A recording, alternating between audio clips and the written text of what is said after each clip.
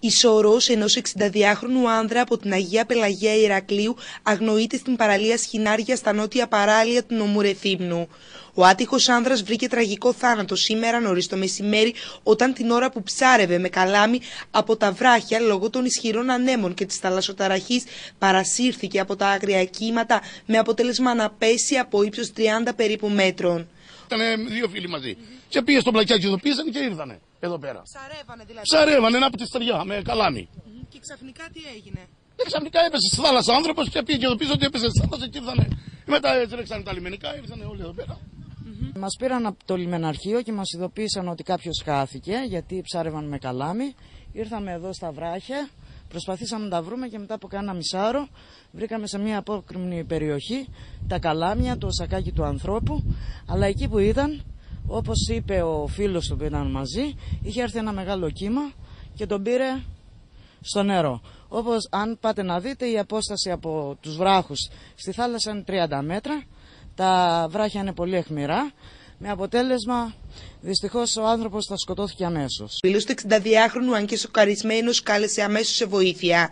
Στηθήκε μια γιγαντιαία επιχείρηση με άνδρες του λιμεναρχείου Αγίας Γαλήνης αλλά και ιδιωτών επαγγελματιών διτών, οι οποίοι βούτυξαν με κίνδυνο την ίδια τους τη ζωή.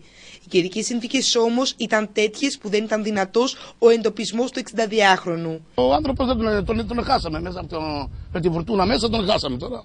Τον βλέπαμε πάνω από μια μισή ώρα, δύο ώρες τον βλέπαμε. Και δεν μπορούσαμε να τον τραβήξουμε με τίποτα. Προσπαθήσαμε να τον βρούμε. Ε, βρέθηκε για μια στιγμή με τη βοήθεια του ελικοπτέρου. Δεν μπορούσαν ούτε από το ελικόπτερο να τον δέσουν. Με το jet ski, όπως βλέπετε, τα κύματα ήταν τεράστια. Προσπαθήσαμε να τον προσεγγίσουμε.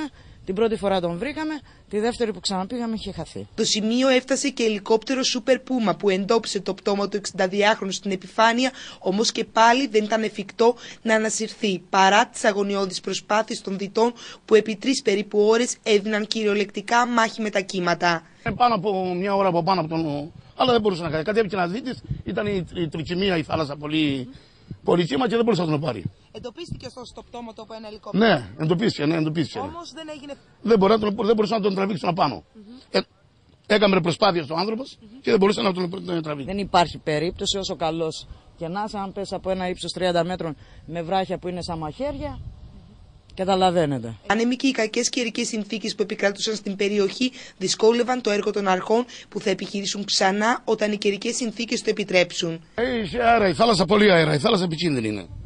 Πήγανε τα παιδιά, τα δικά μου και μπήκανε μέσα για να τον πάρουν, δεν μπορούσαν να τον πάρουν με τίποτα. Τον πλησιάσανε πάρα πολύ κοντά, μπορούσαν να τον πάρουν. Του πάρανε δύο φορές με το σκάφο. Δύο φορές του πάρανε. Η τραγική φιγούρα ήταν ο γιος του άτυχου άντρα, ο οποίος, σύμφωνα με πληροφορίες, ψάρευε χρόνια στα σχοινάρια και γνώριζε πολύ καλά την περιοχή. Ο φίλος του, μάλιστα, που ψάρευε μαζί του, νοσηλεύεται τώρα στο νοσοκομείο Ρεθύμνου σε κατάσταση σοκ.